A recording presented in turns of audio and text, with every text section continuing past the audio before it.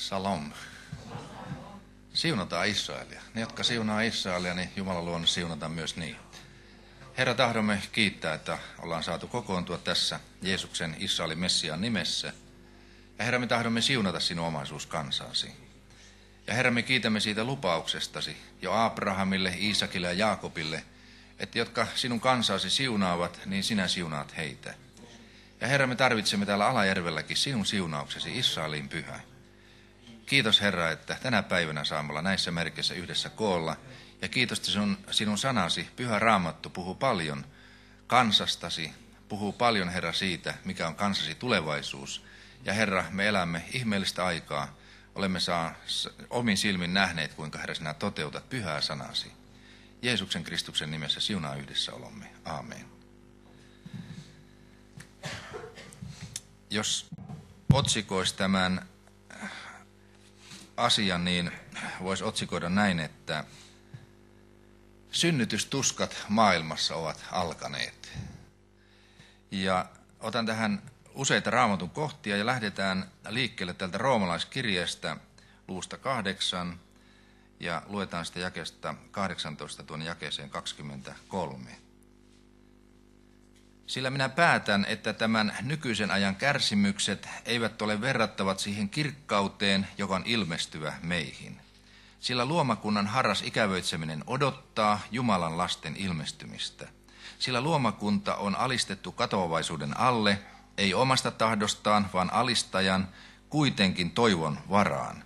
Koska itse luomakuntakin on tuleva vapautetuksi turmeluksen orjuudesta Jumalan lasten kirkkauden vapauteen – sillä me tiedämme, että koko luomakunta yhdessä huokaa ja on synnytystuskissa hamaan tähän asti. Eikä ainoastaan se, vaan myös me, jolloin hengen esikoislahja, mekin huokaamme sisimmässämme odottaen lapseksi ottamista, meidän ruumiimme lunastusta. Eli me olemme tällaisessa puristuksessa koko luomakunta ja Jumalan seurakunta – täällä maailmassa, kun Jumala on synnyttämässä uutta. Ja nyt näissä raamatun jakeissa, ja tuon jonkun profetiankin esiin, joka tässä on vuosi aikana tullut, niin me olemme huomanneet sen, että kaikki ei ole kohdallaan. Kaikki on muuttumassa ja, ja myrskyt, nämä on vain merkki siitä, että luomakunta huokaa.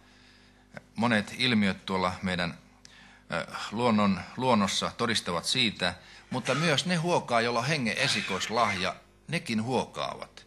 Eli uskovaisilla on tänä päivänä määrätty puristus tuolla sisäisessä elämässä, koska me odotamme ruumiin lunastusta.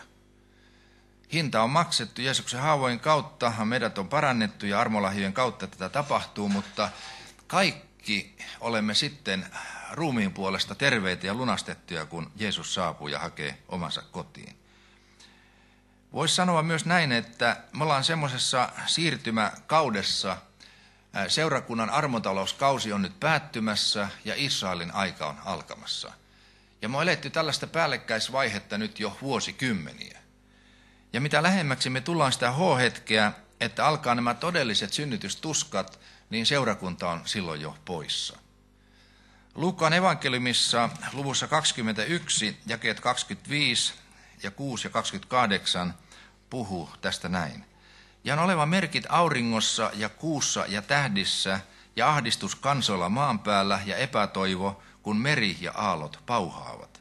Ja ihmiset menehtyvät peljätessään ja odottaessaan sitä, mikä maanpiiriä kohtaa, sillä taivaitten voimat järkkyvät. Mutta kun nämä alkavat tapahtua, niin rohkaiskaa itsenne ja nostakaa päänne, sillä teidän vapautuksenne on lähellä. Seurakuntana me näemme näiden synnytystuskien alun, mutta me emme näe niiden huipentumaa. Koska kun Raamattu puhuu tästä, että mitä syntyy ja mitä Jumala on synnyttämässä, niin se on Israelin pappiskansan syntyminen. Israel tulee siihen tehtävään, josta vanhan liiton profeetat ovat tuhansia puhuneet. Ja tämä seurakunta armotalouskausi, joka oli tässä välillä, se päättyy siihen, kun alkaa tämä Israelin aika. Ja se alkaa kovilla Jaakobin ahdistuksilla. Puhutaan Herran päivästä, Herran vihan päivästä, suuresta ahdistuksesta, jota koskaan aikaisemmin ei ole ollut niin suurta ahdistusta. Ja nämä kaikki osoittavat sen, mihin Jumala tähtää. Jesajassa luvussa 26, jakeet 17 ja 21 puhutaan Israelista ja aivan niin kuin varjona jo näytetään seurakunta armotaloskauden uskovien ylösnousemus. Raamattu sanoo näin. Niin kuin raskas vaimo, joka on synnyttämäisillään, vääntelehtii ja huutaa kivuissansa, niin me olimme sinun edessäsi. Eli nyt tässä puhutaan Israelista. Israel on synnytyskivuissa. Me olimme raskaina, vääntelehdimme, mutta oli niin kuin olisimme synnyttäneet tuulta. Emme saaneet aikaan pelastusta maalle, maanpiirin asukkaat eivät ilmoille päässeet. Mutta sinun kuolleesi virkoavat eloon, minun ruumiini nousevat ylös, herätkää ja riemuitkaa te, jotka tomussa lepäätte. Sillä sinun kasteesi on valkeuksien kaste ja maa tuo vainajat ilmoille. Mene kansani kammioihisi ja sulje ovet jälkeesi, lymyä hetkinen, kunnes viha on ohitse mennyt. Sillä katso, Herra lähtee asuinsijastaan kostamaan maan asukkaille heidän pahat tekonsa, ja maa paljastaa verivelkansa, eikä surmattujansa enää peitä. Tässä me nähdään, että kun Israel alkaa joutumaan synnytyspoltteisiin, niin siinä samassa vaiheessa tapahtuu tämä seurakunnan ylösotto, jota Paavali sitten kirkastaa ensimmäisessä korintolaiskirjeen 15 luku tarkemmin ja tessalonikalaiskirjeessä, että mitä tapahtuu niille, jotka ovat sinä hetkenä elossa. Mutta vanhan liiton profeetoille se oli vielä salaisuus. Ja tässä vain näytettiin, että Israel joutuu synnytystuskiin ja samaan aikaan Jumalan omat nousevat haudoista. Eli tämä on se kohta, josta Paavali sanoo salaisuutena ensimmäinen korintolaiskirje 15 luku ja luen siitä jakeesta 51 tuonne jakeeseen 53. Katso, minä sanon teille salaisuuden. Huomatkaa, nyt Jumala paljastaa pyhänenkensä kautta salaisuuden korintouskovaisille. Katso, minä sanon teille salaisuuden. Emme kaikki kuolemaan nuku, mutta kaikki me muutumme yhtä äkkiä silmän räpäyksessä viimeisen pasunan soidessa. Sillä pasuna soi ja kuolleet nousevat katoamattomina ja me muutumme. Sillä tämän katoavaisen pitää pukeutuman katoamattomuuteen ja tämän kuolevaisen pitää pukeutuman kuolemattomuuteen. Tässä vasta paljastuu tällainen salaisuus, että on tämmöinen ihmeellinen aika, että kun Jumalan kuolleet nousevat, niin silloin myös elävät muuttuvat. Ne, jotka ovat Kristuksessa, saavat uuden ruumiin. Ensimmäinen tessalonikalaiskirje, neljäs luku, jakeet 13 ja 18, Paavali tuo tämän saman asia esiin. Mutta me emme tahdo pitää teitä veljet tietämättöminä siitä, kuinka poisnukkuneiden on, ette te murehtisi niin kuin muut, joilla ei toivoa ole. Sillä jos uskomme, että Jeesus on kuollut ja noussut ylös, niin samoin on Jumala Jeesuksen kautta myös tuova poisnukkuneet esiin yhdessä hänen kanssaan. Sillä sen me sanomme teille Herran sanana, että me, jotka olemme elossa, jotka jäämme tänne Herran tulemukseen, emme suinkaan ehdi ennen niitä, jotka ovat nukkuneet. Sillä itse Herra on tuleva alas taivaasta käskyhuudon, ylienkelin äänen ja Jumalan pasunan kuuluessa, ja Kristuksessa kuolleet nousevat ylös ensin. Sitten meidät, jotka olemme elossa, jotka olemme jääneet tänne, temmataan yhdessä heidän kanssaan pilvissä Herraa vastaan yläilmoihin, ja niin me saamme aina olla Herran kanssa. Niin lohduttakaa siis toisianne näillä sanoilla.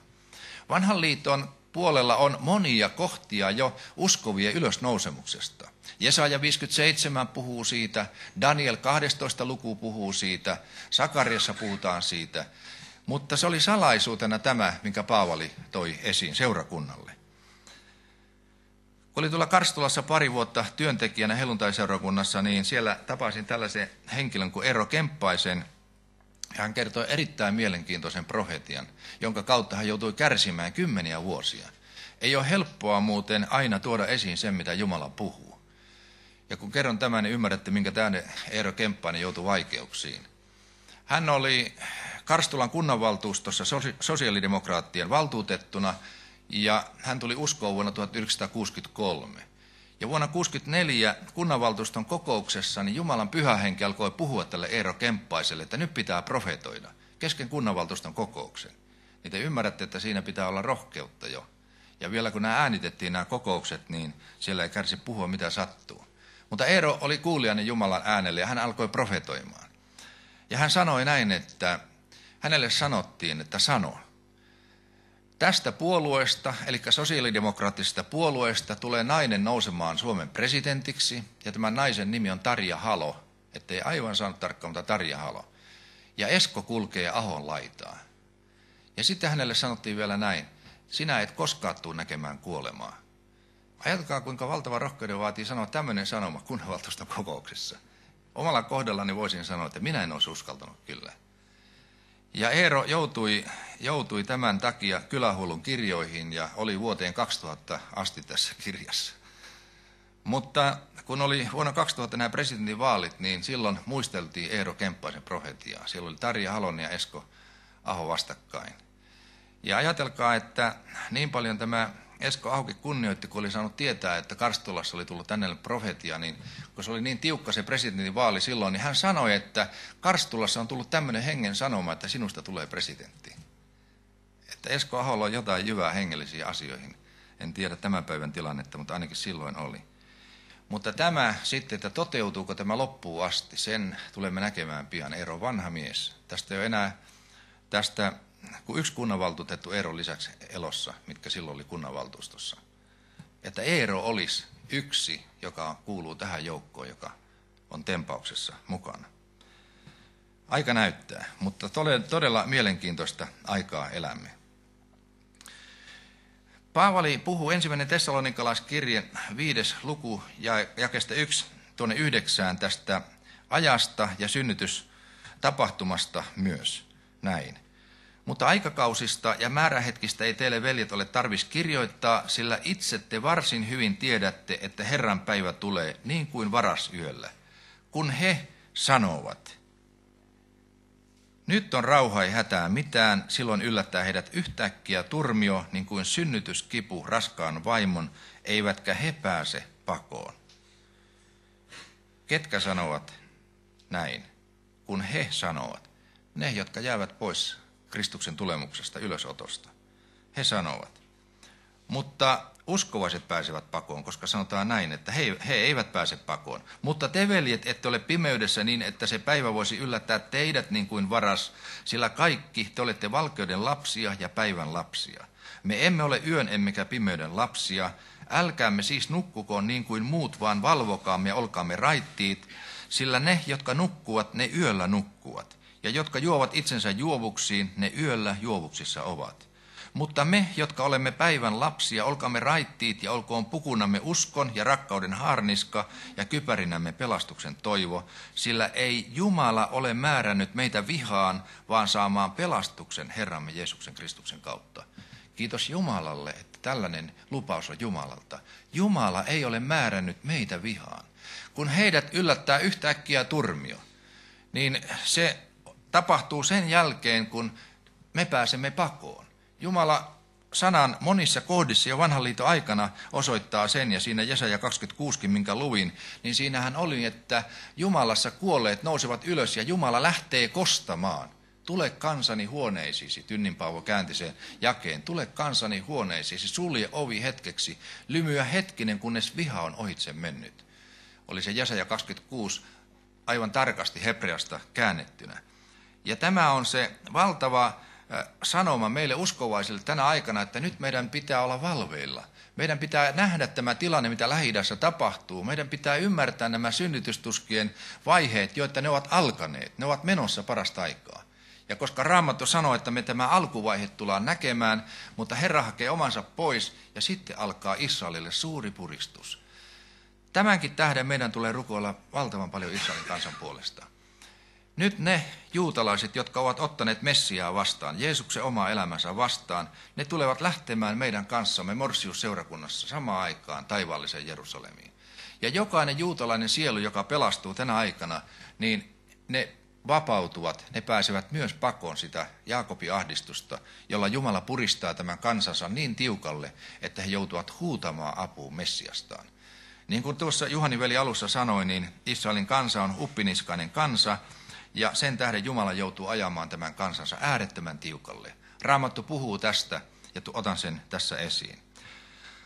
Roomalaiskirje 11. luku ja 25 sanoo tästä armotalouskauden päättymisestä ja Israelin ajasta tällä lailla näin. Sillä minä en tahdo, veljet, ette te olisi oman viisautenne varassa pitää teitä tietämättöminä tästä salaisuudesta, että Israelia on osaksi kohdannut paatumus hamaan siihen asti, kunnes pakanain täysi luku on sisälle tullut. Eli tässä on aivan selvä raja. Armotalouskaus päättyy siihen, pakanain täysi luku on tullut sisälle. Jumalalla on joku määrätty luku, joka täyttyy, ja kun tämä morsiusjoukko, seurakunnan lukumäärä on täynnä, Jumala hakee sen pois, ja sitten alkaa Israelin aika, ja se alkaa suurella ahdistuksella, suurella vaikeudella. Ja kun Israelia Jumala alkaa ahdistamaan ja painamaan siihen, että tämä kansa, ylpeä kansa nöyrtyy, huutaa Messiasta apuun, niin Israel raamatun mukaan tulee menettämään kaikki ystävänsä. Nyt me ollaan näkemässä poliittisessa tilanteessa, Reino olisi puhunut tästä, mutta nyt ei ole mahdollisuutta ja aikaa siihen tarkemmin puuttua, mutta me näemme parasta aikaa sen tilanteen nyt, että Israel on jäämässä aivan yksin. Amerikassa nyt nämä demokraattien voitto jo kongressissa ja senaatissa osoittavat sen, että seuraava presidentti, jos me nähdään se täällä vielä uskovaisina, niin tulee olemaan presidentti, joka tulee hylkäämään Israelin. Se on aivan varma asia. Tämä Irakin sota on muuttanut Amerikan mielipidettä niin paljon, että he ovat laskeneet ja liikemiehet sanoneet, että Israelia ei kannata tukea, se käy Amerikalle liian kalliiksi. Tänä päivänä Israelilla on ainoa tukija on USA. Ja koska Raamattu sanoo Sakarian kirjassa 12 luku, että kun Jerusalemia aletaan jakamaan, niin kaikki kansat kääntyvät Israelia vastaan. Ja tiedättekö, että tässä kvartetin jakosuunnitelmassa, jossa parasta aikaa jaetaan Israelin maata, niin siinä on Amerikka myös mukana. Ja siihen kuuluu nyt Jerusalemin jako. Ja nyt kannattaa lukea Sakaria 12 luku. Mitä sanotaan, kun Israelia jaetaan? Jumalan viha syttyy. Jumalan viha syttyy. Ja koska Raamattu sanotaan, että hän ei ole määrännyt meitä vihaan, niin tämä on myös yksi merkki siitä, että Herra hakee pian omansa pois ja alkaa puhdistamaan tätä planeettaa, vie sen näiden synnytyspoltteiden läpi ja sen tuloksena Israel jäännös, Israelin kansan jäännös pelastuu. Hilari Clinton, joka on yksi vahvi, vahvoista demokraattien presidenttiehdokkaista ja jopa mahdollinen tuleva presidentti, on puhunut jo siihen sävyyn, että ei kannata enää arabeihin suhtautua sillä tavalla, että sinne lähetetään sotavoimia, vaan heidän kanssaan pitää tehdä yhteistyötä. Ja kun me tiedämme sitten, että mitä se yhteistyö on, niin siihen kuuluu, että Israel voidaan pyyhkiä pois maailmankartalta. Näinhän Ahmadinejad, Iranin presidentti, on sanonut moneen moneen kertaan ja valmistelee nopealla kiireellisellä aikataululla ydinasetta, että voitaisiin poistaa tämä kipupiste tuolta lähi joka on Israel. Mutta näin ei tule koskaan käymään, koska Israel on Jumalan silmäterä kansa, ja Jumala itse sotii kansansa puolesta siinä vaiheessa erikoisesti, kun tämä kansa huutaa apu omaa Messiastaan. Matteuksen evankeliumissa luvussa 23 Jeesus puhuu jäähyväispuhettaan. Jakeessa 37 ja 39 hän sanoo näin. Jerusalem, Jerusalem, sinä, joka tapat profeetat ja kivität ne, jotka ovat sinun tykösi lähetetyt, kuinka usein minä olenkaan tahtonut koota sinun lapsesi, niin kuin kana kokoaa poikansa siipiensä alle, mutta te ette ole tahtoneet. Katso, teidän huoneenne on jäävä hyljätyksi, sillä minä sanon teille, tästä edestä ette näe minua ennen kuin sanotte, siunattu olkoon hän, joka tulee Herran nimeen. Tässä on suora viittaus, Jeesus lainaa Sakarian kirjan lukua 13. Tässä Sakarian luvussa 13 sanotaan, missä vaiheessa tämä kansa huutaa, tarvitsee omaa Messiastaan. Luen sitten jakeet 8 ja 9. Ja näin on käyvä koko maassa, sanoo Herra. Kaksi osaa siitä hävitetään ja saa surmansa, mutta kolmas osa siitä jää jäljelle. Ja sen kolmannen osa minä vien tuleen, minä sulatan heidät niin kuin hopea sulatetaan, ja koettelen heitä niin kuin kulta koetellaan. He huutavat avuksi minun nimeäni, ja minä vastaan heille. Minä sanon, se on minun kansani, ja se sanoo Herra, minun Jumalani. Daniel sanoo tästä ajasta luvussa 12 jakeet 1 ja 2 näin. Siihen aikaan nousee Miikkael, se suuri enkeliruhtinas, joka seisoo sinun kansasi lasten suojana, ja se on oleva ahdistuksen aika, jonka kaltaista ei ole ollut siitä saakka, kuin kansoja on ollut, hamaan siihen aikaan asti. mutta siihen aikaan pelastetaan sinun kansasi ja kaikki, jotka kirjaan kirjoitetut ovat. Ja monet maan tomussa makaavista heräjävät, toiset iankaikkiseen elämään, toiset häpeään ja iankaikkiseen kauhistukseen. Raamattu osoittaa niin suuren ahdistuksen olevan tulossa siinä aikana, kun Israelin kansa on tässä puristuksessa, niin silloin myös pakanakansat ovat suuressa ahdistuksessa, josta Matteuksen evankeliumissa sanotaan luvussa 24, jakeet 20 ja 22 näin. Mutta rukoilkaa, ettei teidän pakonne tapahtuisi talvella eikä sapattina, sillä silloin on oleva suuri ahdistus, jonka kaltaista ei ole ollut, maailman alusta hamaan tähän asti, eikä milloinkaan tule. Ja ellei niitä päiviä olisi lyhennetty, ei mikään liha pelastuisi, mutta valittujen tähden ne päivät lyhennetään. Ihmiskunta on sellaisissa sodissa, että tämä on kuolemassa sukupuuttoon, ja silloin Jumala lähettää Jeesuksen Kristuksen, ja me tulemme hänen kanssaan tuhannen tuhansine pyhine, niin kuin ilmestyskirja 20. luku sanoo, tänne, ja silloin päättyvät nämä sodat, Jumala keskeyttää ne hirvittävät atomisodat, ja Israelin kansa on silloin huutanut Herraa apuun, ja hän tulee öljymäelle, niin kuin Sakarian 14. luku sanoo. Lokakuussa viime vuonna oli Jerusalem Postissa siinä kristittyjen osastossa monen sivun juttu sellaisesta miehestä kuin Abraham Joosefista. En tiedä kuinka moni on lukenut tai kuullut tämän, mutta tämä oli mielenkiintoinen kokemus tällä Abraham Joosefilla, joka tapahtui vuonna 1968. Ja kerron lyhyesti, koska tähän liittyy tämä Sakarian kirjan profetia. Tämä Abraham Joosefin isä oli Persiassa syntynyt rappi, ja hän muutti Israeliin ennen Israelin itsenäistymistä, ja tämä Abraham Joosef oli tämä rapin poika ja syntyi vuonna 1943. Hän oli ammatiltaan, tai on ammatiltaan, hän elää tänä päivänäkin, on sähkömies.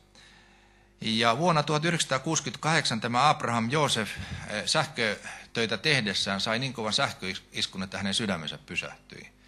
Ja hänet vietiin ortodoksisairaalaan siellä kuolleena. Ja siellä annettiin normaalia voimakkaampi isku tälle Abraham Joosefille ja, ja niin hänen sydämensä alkoi lyömään ja hän heräsi henkiin. Ja kun hän heräsi henkiin, niin hän muisti, mitä oli tapahtunut ja mitä hänellä oli puhuttu rajan toisella puolella. Ja hän kirjoitti 17 sivuisen muistion siitä, mitä kuoleman rajan takana oli. Ja tästä Jerusalem Post oli niin kiinnostunut, että vuonna, viime vuonna 14.10. oli monen sivun juttu tästä Abraham Joosefin näystä. Tämä Abraham Joosef oli tullut huoneeseen, jossa oli valtaistuin, ja tämä valtaistuimen edessä oli miehiä. Ja nämä miehet sanoivat tälle Abraham Joosefille, että sinut lähetetään takaisin eh, isä, isiesi ansion tähden. Ja sinulla on sanoma, jonka viet Israelin kansalle. Ja tämä sanoma oli tällainen. Israelin kansa tulee viimeisinä aikoina olemaan johtajien syntien tähden tuomittu kansa. Johtajien syntien tähden tämä kansa, ellei nämä johtajat tee parannusta, tulee joutumaan sotaa vuonna 2012. Ja Tämä sota alkaa sillä tavalla, että nousee karismaattinen islamilainen johtaja, joka kokoaa kahden miljoonan miehen armeijan. Nämä hyökkäävät Israeliin ja puolitoista miljoonaa juutalaista kuolee tässä sodassa ja Israel miehitetään. Israel joutuu lähtemään maastaan kymmeneksi 9-18 kuukaudeksi vielä pakkoon.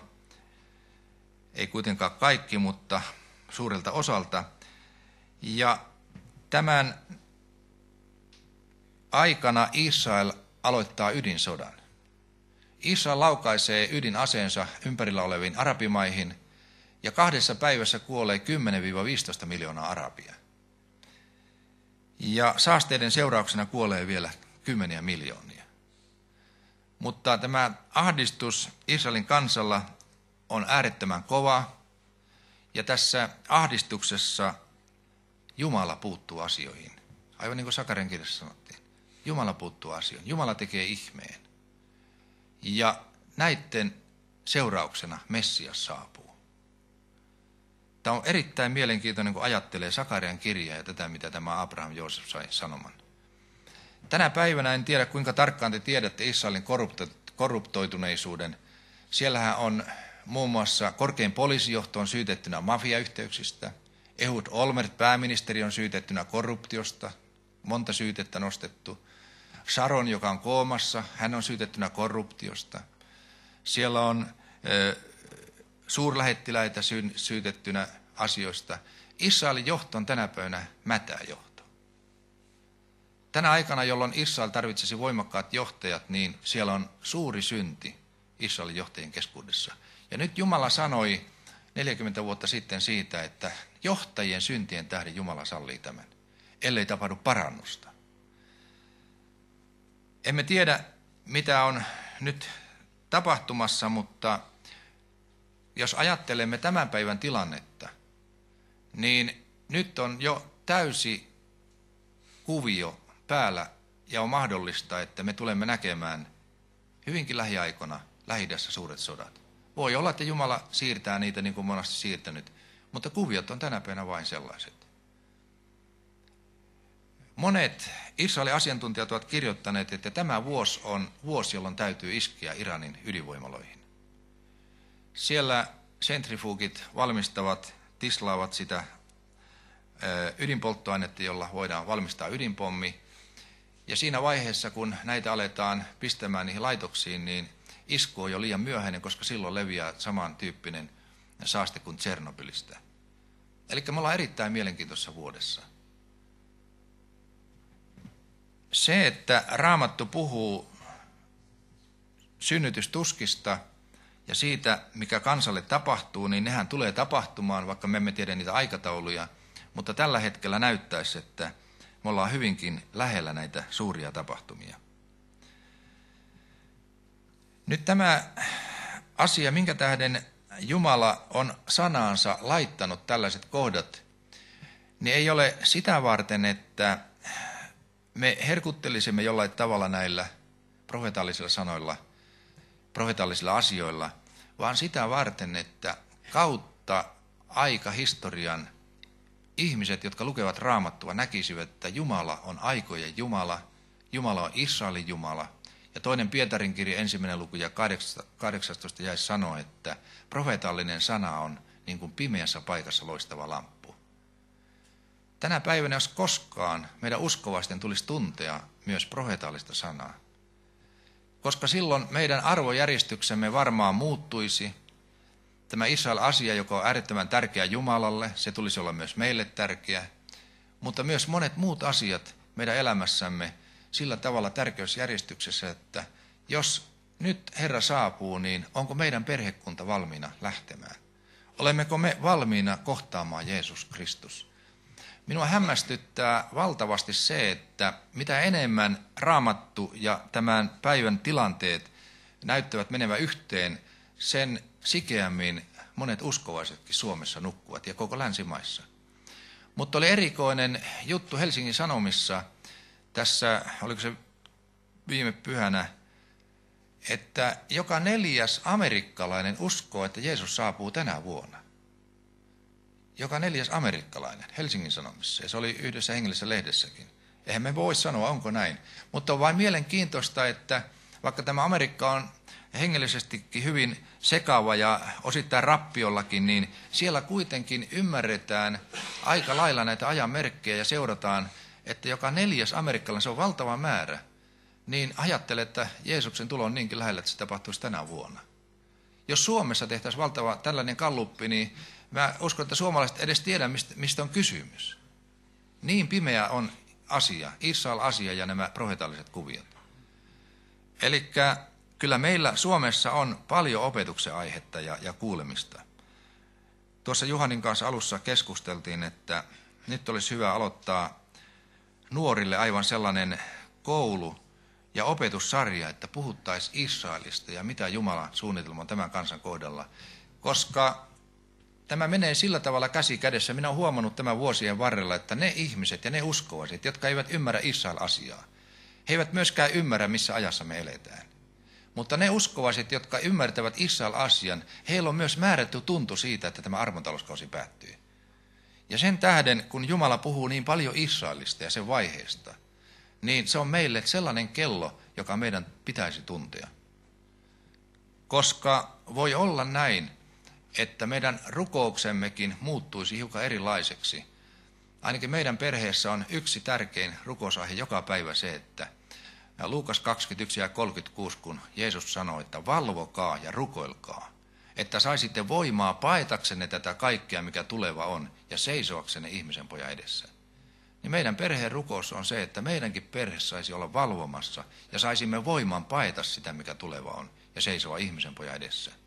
Toivo Koilo kääntää tämän saman jakeen näin, että valvokaa ja rukoilkaa, että teidät katsottaisiin arvollisiksi pakenemaan tätä kaikkea, mikä tuleva on, ja seisoaksen ihmisen pojan edessä. Eli ei ole kysymys mistään pienestä asiasta, kun Jeesus sanoo näiden puheittensa päätteeksi, missä hän puhuu tulemuksestaan, että rukoilkaa tällä tavalla. Ja tulee olla valveilla, sillä nukkuessa ei tule muuta kuin nukkuneen rukouksia. Meidän pitää valvoa, nähdä hengellisin silmin tilanteita, ja silloin me voimme tosissaan myös rukoilla olla Jumala edessä. Tähän lopuksi William Putin näkyy, minkälaisessa ajassa ellä maailma on päivää ennen Jeesuksen tulemusta. William Puut, pelastusarmeijan perustaja, eli 1829 ja kuoli 1912, ja tämä profeetia on lähes sata vuotta vanha. Hän sai Jumalalta elämänsä loppuhetkissä ilmestyksen siitä, millainen on maailma ja niin sanottu kristikunnan hengellinen tila päivää ennen Jeesuksen tulemusta. Kuuntelepa tarkkaan. Tässä ilmestyksessä on kuusi pääkohtaa, jotka sisältävät muun muassa seuraavat asiat. Silloin on politiikkaa ilman Jumalaa. Tulee päivä, jolloin koko läntisen maailman virallinen valtapolitiikka on sellaista, ettei missään hallitsevassa tasossa kukaan enää pelkää Jumalaa. Uusi sukupolvi poliittisia johtajia hallitsee Eurooppaa, sukupolvi, joka ei pienessäkään määrässä enää pelkää Jumalaa. Silloin on taivasta ilman helvettiä. Tulee päivä, jolloin tapahtuu suuri irrottautuminen siitä, mitä Raamattu nimittää täyden totuuden evankeliumiksi. Silloin saarnataan Raamatun profetian mukaisesti korvasyyhyyn. Kuulijat määräävät, mitä saarnatuolesta julistetaan. Ja silloin yleinen määräys saarnatuolelle on tämä, puhukaa lempeitä, makeita sanoja. Puhukaa taivaasta, jättäkää meidät vapaiksi, jotta emme joutuisi rasittumaan, kun saarnaatte helvetistä. Kristikunta on täynnä anteeksiantamusta ilman parannuksen tekemistä. Kristikunnasta katoaa se raamatun oppi, ettei anteeksi saamista synnistä voi olla ilman, että tehdään parannusta synnistä. Päivä ennen Jeesuksen tuloa on täynnä pelastusiloa ihmisillä, jotka eivät ole uudesti syntyneet ylhäältä. On paljon uskontoa ilman pyhää henkeä. Eikö äärettömän vakava sanoma? Ja minä uskon, että tämä on Jumalasta, koska tilanne tänä päivänä on tällainen. Käydään rukoilemaan ja kiitetään Herraa, että olemme armon ajassa. Omalla kohdalla meillä on mahdollisuus muuttaa kurssia ja voimme perheitämme kantaa vielä Herra eteen ja